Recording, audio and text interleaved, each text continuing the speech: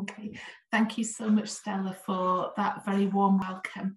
Um, Lani, Archie, and I are delighted to be here tonight to present um, some of the findings from quite a complex project that we undertook um, to map inclusive pedagogy across Scotland's initial teacher education courses. And as Stella said, um, we, we are the subgroup who um, worked on data analysis and writing papers from this, but it was very much a collaborative, collaborative effort. Okay. Um, so um, you've hopefully got the chat box up on your screen. Um, if you do have questions or discussion points, um, please do write those into the chat box and um, there'll be plenty of time once we've gone through the slides to have a really good discussion with everybody. Um, so we, we may have a wee bit of time to talk about the National Framework for Inclusion, which is currently being updated, um, but we'll we'll see how we're doing. Um, I think one of the bit one of the really important things to mention is that the the data that came from our courses, um, it um, it was for us it was really important that that we that we maintained people's confidentiality so all the data was an, an, an, an anonymized. Um, because what we wanted to do through this work was to explore and share good practice and support each other in a non-judgmental way. It absolutely wasn't about um, putting universities and courses under the spotlight and thing and and reviewing them and seeing where they were found wanting. Um, it was very much what are we doing and um, how can we support each other? How can we work together collaboratively to strengthen what we are doing across Scotland? So just a wee bit about SUIG, if you don't know who we are already. Um, we, we now have um, representatives from all 11 universities um, who are involved in initial teacher education in Scotland. At the time of the project, there were only seven universities offering initial teacher education. Um, so we, we, we, have, we have grown over, over the past few years. Um, we started back in 2008 and we were originally this, the Scottish Teacher Education Committee Inclusion Group. Um, when the when STEC became the Council of Deans, we changed our name as well. Um, and um, the, the group is supported by the Scottish Government and the Scottish Council of Deans of Education. And as I was saying just before, um, we do work collaboratively to ensure that there is coherence in professional learning, in inclusive education right across Scotland, wherever we are educating teachers in, in university settings. Um, we were founded as part of a response to, um, there were lots of questions um, back in 2006, 7, 8 around how were, how were new teachers being prepared to teach dyslexic students in school. And it's very similar to more recent conversations around how do we prepare our teachers to teach autistic learners. Um, so it, that that's that's where the the initial the initial demand um, for this group came from. And since then, 15 years on, it's very much a self-supporting, um, self-regenerating group. Um, so that's just a wee bit of background about us.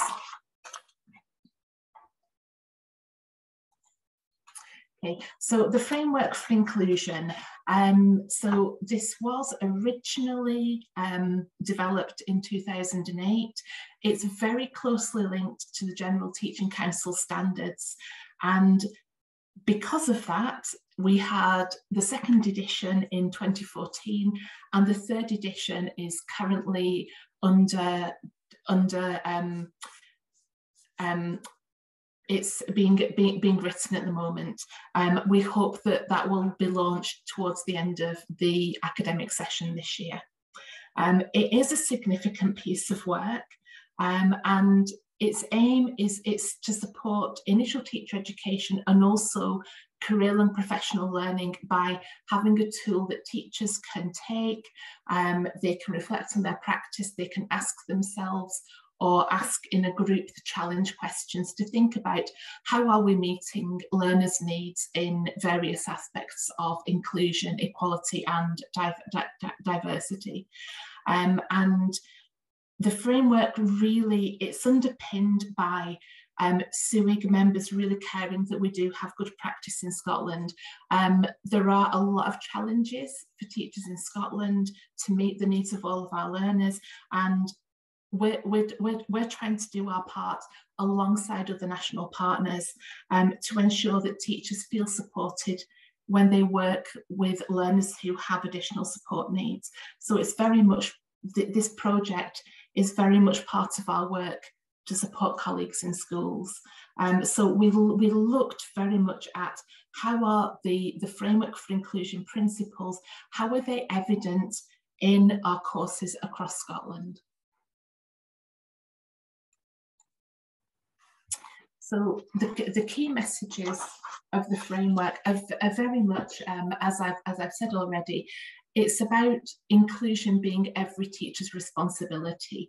Um, and because it's all of our collective responsibility, it therefore has to be a core part of teacher education, both initial teacher education and career and professional learning.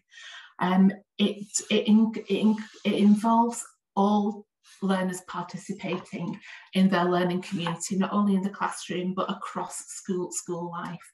And it's based on an open-ended view of a child's capacity to learn.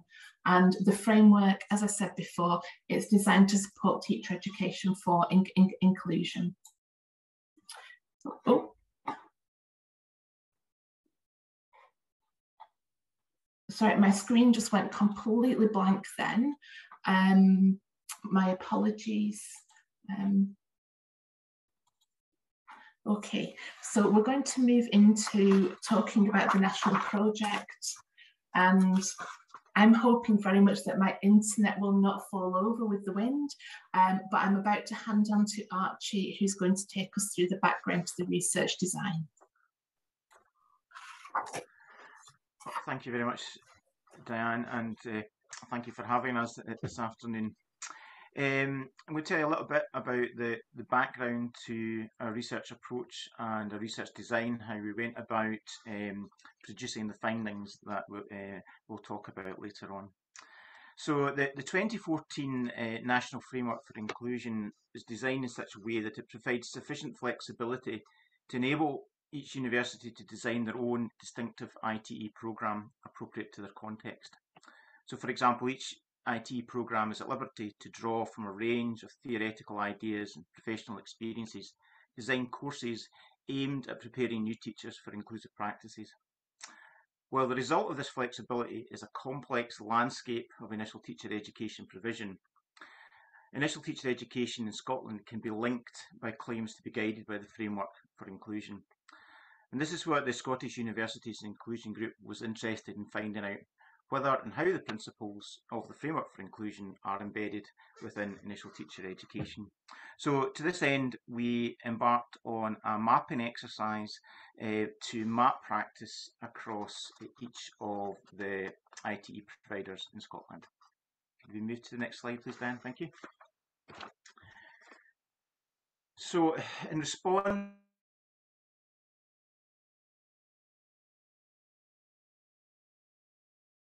I, am sorry, Archie. It seems that you're muted. There we go. That's fine. Thank you. So, uh, in response to the complexity associated with the many different ideas and approaches to preparing teachers to work inclusively, we turned to the Council of Europe tool uh, to upgrade teacher education practices for inclusive education. And this was designed by Hollenweger, Pantic and Florian in 2015. The Council of Europe tool, as shown on this slide, uses an activity model that can be applied to examine the range of activities that are taking place in varied teacher education contexts. Consequently, it offers a useful way of exploring how inclusion is addressed within different course structures and programmes. The Council of Europe tool uses five uh, questions to help highlight the main components of an activity. These are um, highlighted in the yellow box. So question one, who does it? That's the subject of the activity and refers to the person or the people that is or are carrying out that particular activity. Question two, what is done, focuses on the object of the activity and refers to who or what the activity is directed towards. Question three, what, why or what is it done for? The outcome of the activity refers to all wanted and unwanted results or impacts that are created as a result of carrying out the activity. Question four, how is it done? The tools and instruments refers to the physical and cognitive tools or methods that are used to carry out the activity. And question five, where is it done? Is the social and or the physical context and refers to the characteristics of the social setting or environment in which the activity is carried out. Can we move to the next slide, please, Dianne? So um, the Council of Europe tool provided us with the sort of structure to begin to um, collect data. And for the purposes of data collection, the members of the Scottish U Universities Inclusion Group were considered the research team at the respective universities. Uh, and following ethical approval uh, from each School of Education, Teacher educators in each participating university were invited to identify activities associated with inclusive practice from their ITE provision and to provide a description of that activity. Participation was voluntary and our approach to data management and organisation followed seven steps um, based on uh, uh, the approach designed by Gale et al. in 2013. Step one uh, involved us um, extracting data. So we sourced our data from field notes, interviews and course documentation. Audio recordings of the interviews were used to supplement field notes when necessary rather than producing full transcripts of each interview. Step two then involved the group familiarising ourselves with the data. Uh, we read and reread our field notes and course documentations until we became familiar with the data set. We then moved to a coding uh, process and the, research teams from each of the universities worked collaboratively to standardise an approach to coding. Initially, codes were developed to ensure a common understanding and language for describing practice across each of the settings. The research teams then independently applied the codes to their data, taking care to note any new codes or data which didn't fit the initial analytical frame. As these activities were discussed during each of the Scottish University Inclusion Group meetings, a more refined understanding of how the Council of Europe tool uh, could be applied emerged. Step four um, involved us developing a working analytical framework uh, and as the research teams worked independently, the analytical framework was subjected to critique by a colleague who was a, not a member of the Scottish Universities Inclusion Group Codes were discussed in terms of why they'd been interpreted as meaningful and what they told us about the research participants' views.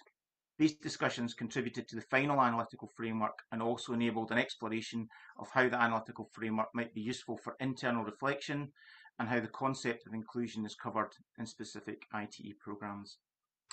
And in an effort to provide further analytical purchase, we further coded the data relating to intended outcomes against the three principles of inclusive pedagogy that informed the national framework uh, for inclusion. And at this point in the study, a cross-university team reviewed the data to ensure consistency in how the data was recorded and then was then member checked by each of the research teams. Step five uh, involved us applying our analytical framework uh, and so each of the teams applied the agreed analytical framework to the whole data set. Any issues arising were discussed as a standing item at Scottish Universities Inclusive Group meetings, and these included difficulties in scheduling interviews with busy colleagues, how to capture data when courses and programmes were undergoing review or being revised.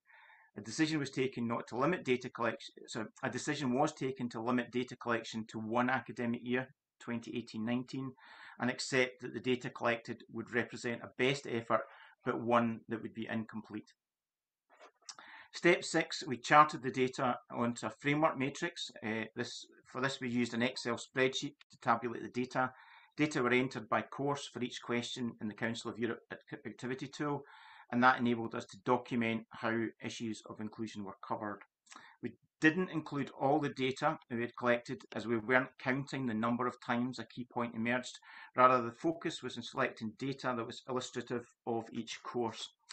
And we aimed to strike a balance between data reduction and capturing the essence of the original meanings. And step seven involved us interpreting the data. So all of the research teams were able to document practice within programs and courses and identify practice aligned with the expectations set by the National Framework for Inclusion. The time constraints uh, of the research meant that it was impossible to obtain information from all who might have contributed. However, the available data enabled us to produce a set of maps uh, that begin to chart the landscape of teacher education practices. And we refer to these maps as audit maps. And we can see an example of an audit map in the next slide. So each of the boxes here um, represents uh, an aspect of the Council of Europe tool. So each audit map comprises boxes linked to each of the questions in our version of the Council of Europe tool. For example, in this audit map, we can see under the category of the teacher that the activity was taught by a range of persons such as the programme director, course coordinators, tutors with expertise specific to the early years, and university-based specialists from social work by way of illustration. Also for the category curriculum, examples such as research and inquiry as a key driver and modelling inclusive ways of working throughout provide some illustration of the types of data recorded. So with the data we collected, we were able to produce 18 of these maps. I'm now going to pass on to Lani, who's going to tell you a little bit more about our findings from this part of the project.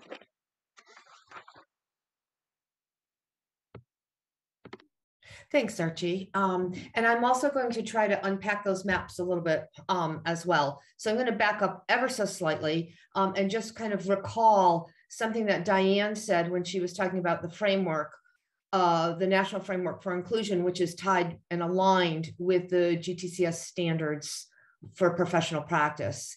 And that is that the theoretical idea of inclusion that we think is so important in initial teacher education and career long professional learning, but particularly initial teacher education, is this notion that every child's capacity to learn is open ended and that what teachers do matters. And that in part is why, you know, the, this work is the responsibility of every teacher taking on board the fact that there will be many differences between learners and those need to be accounted for as well and sometimes that will involve the like the the um, uh, relying on specialist knowledge or the need to bring specialist knowledge to bear on how a child is taught. Um, so we try to embed that as just a norm in the way that we think about how should inclusion be understood in Scotland for any child. So we have these three principles of inclusive pedagogy that we've been referring to, but we haven't really said what they are. Um, although they they were uh, in italics on Archie's map, and I'll show you another map in a minute, so you'll see it again. Um, but that is the notion that differences difference is ordinary, and we should expect that there'll be differences between learners.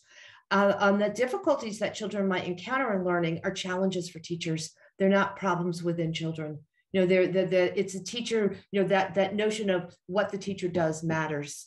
Um, and the way that the teacher works with the child has everything to do with the extent to which the child will feel that they belong in the classroom or that they're included um, but that doing this work is really challenging work and it requires collaboration with others, particularly with specialists when a child's um, uh, in a situation where they're struggling to such an extent that the teacher feels that they need to bring in additional resources. So that's kind of the theoretical overview. And when we talk about teacher education for inclusion, and when we talk about the national framework and aligning that theoretical idea of inclusion, we think about how do we prepare teachers to meet the standards of the, na the national standards um, that are set out by the GTCS, but in ways that are faithful uh, to the principles of an inclusive approach to teaching, with the idea that so that more children can have a better experience of learning in school. Uh, so that that's the, the the kind of the thrust of this. And as many of you will know, who if you've worked with the framework or seen it, we try to do that in a question-based way so that it encourages reflective practice. It allows the flexibility that Archie was mentioning in terms of the differences between our programs. But that also, as Archie mentioned, creates a messy kind of landscape. And then we in the SUIG group get together. And one of the questions we regularly ask ourselves is, how are we doing what we say we're doing? We've got this framework, we all use it. Um, we have other um, uh, tools on, and other things that are available to us that we integrate into our programs or other things that we're required or asked to do that have to do with specialist knowledge. Are we using those things? How are we using them? Where are they we using them? Does it make a difference if we do it early or late in the program? You know, we ask ourselves those kinds of questions all the time. And so in a way, you know, trying to find a strategy that would in as archie i think or someone said in a non-judgmental way just examine that you know just to give ourselves some feedback um, to answer that question of are we doing what we say we're doing and how well are we doing it? Uh, and so the the project that archie just outlined to you um, in great detail was our um, attempt to do that and we did that in in uh, you know in part because the actual research literature on this work is not that well developed.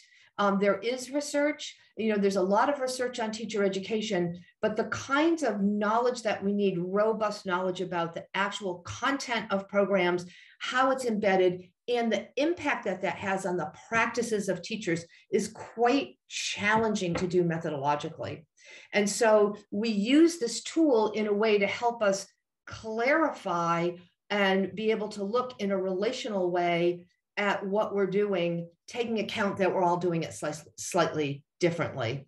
And so what we found um, is that this map making metaphor was really helpful to us because we got a partial landscape we knew, uh, and I think Archie mentioned, we collected data. It was a massive data collection effort, and people were fantastic in terms of contributing.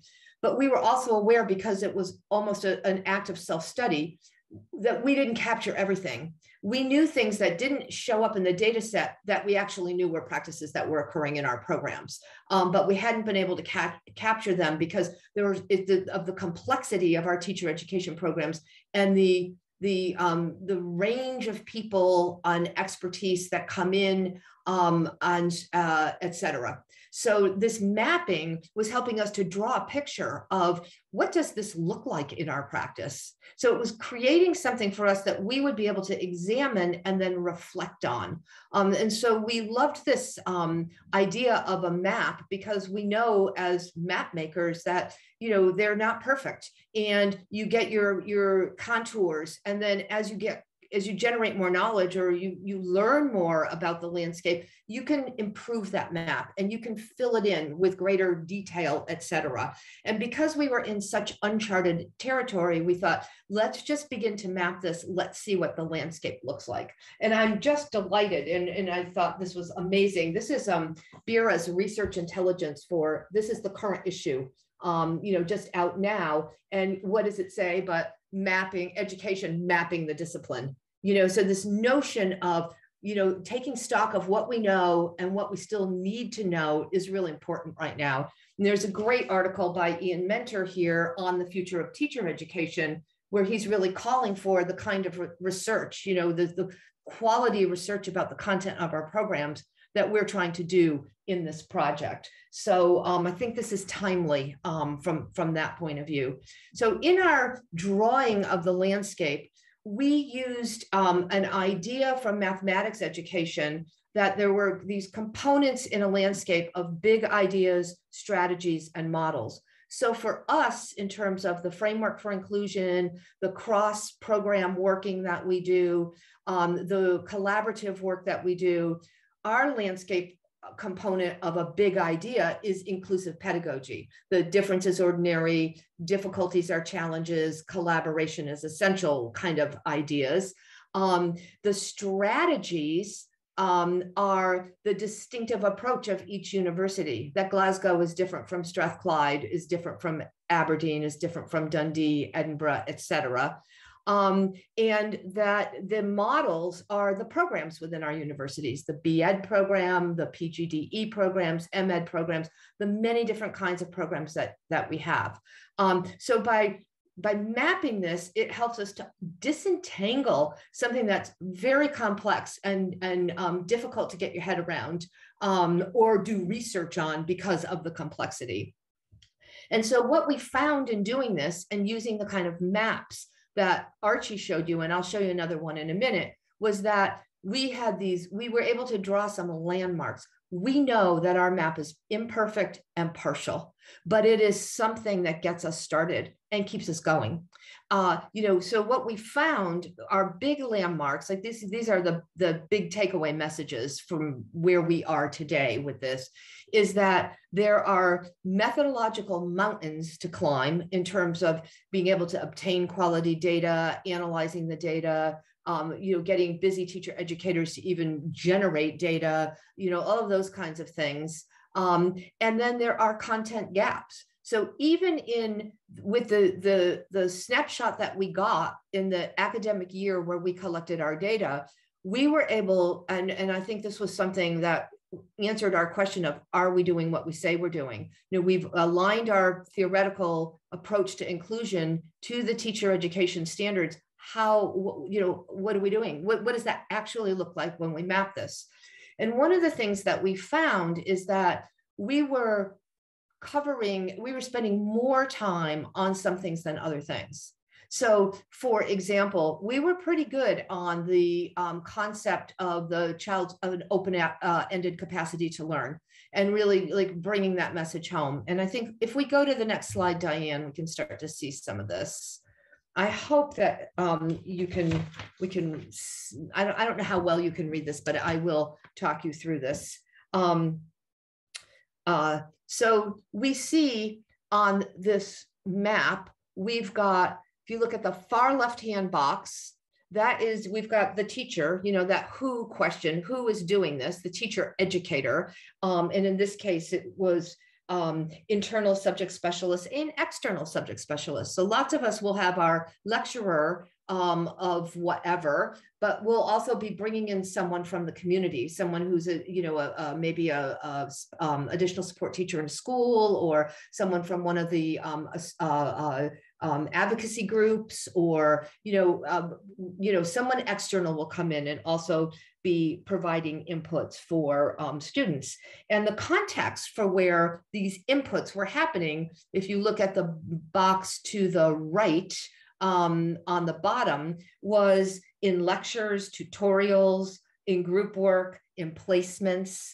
You know, there were lots of places where we could see examples of the um, uh, inclusive pedagogical approach in action within our programs. And if you go up one, the how of that were some of the things that the um, activities that the teacher educators, and that includes the external, you know, sub subject um, uh, specialists might be doing, whether they were um, using a team teaching model, whether they were um, uh, using critical discussion, you know, what were the pedagogical tools that they were using as teacher educators to impart this knowledge, content knowledge within the different contexts where it was occurring. And of course, on the, the what of this in this in this case is, you know, what is the teacher who is the, the teacher educator is the who in the model but but their focus is the what is the learner the student teacher. Um, the students on the course is you know that, that what they're trying to do is use these tools and artifacts in different contexts to impart the contact knowledge about inclusive pedagogy so that the outcome the why at the the the very end of this map will be the kinds of things that they were doing within that course to bring life, you know, to, to make meaning out of that theoretical idea about differences and challenges and collaboration.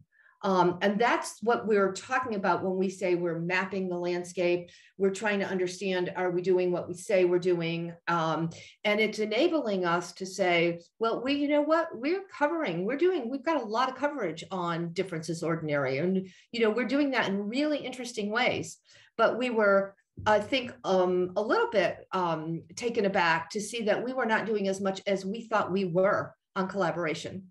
So this has been like a really excellent um, uh, reflective uh, activity for ourselves. In addition to mapping the landscape we're get we're getting this immediate feedback of there are some gaps here. You know there's some valleys that are pretty deep that maybe we need to be um, thinking about you know how do we redress that? Where in our programs can we make sure that we can get a little more coverage on this issue because it's just so important. And we're actually we're a little bit surprised that we weren't doing as much as we thought that we were or that we'd like to think that we are. Um, so i think that these um, uh, uh, you know it's important um, for us as teacher educators to hold our own feet to the fire about the kinds of things that we think is our responsibility in making sure that the teachers who come onto our programs are qualified and you know have the confidence to do when they get out into school. Um, and this just becomes you know part of that continuous feedback continuous and formative feedback to ourselves and improvement. So if we go to the next slide please dianne. Um, we had a, a, couple of other out, outcomes you know again that were um, um, in, in some ways not necessarily specific to the mapping, but they were incidental things that were occurring at the same time because some of us were able to also get data from our students.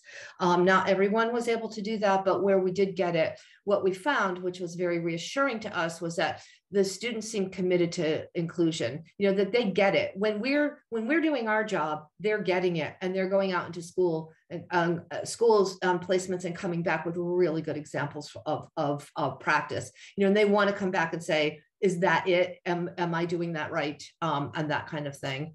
Uh, they and they they they see those connections between the university based modules and the professional practice um, aspect of their programs. So they they they see they they see those connections. Um, you know and again that's what we hope for. So it's reassuring when when they generate that feedback for us.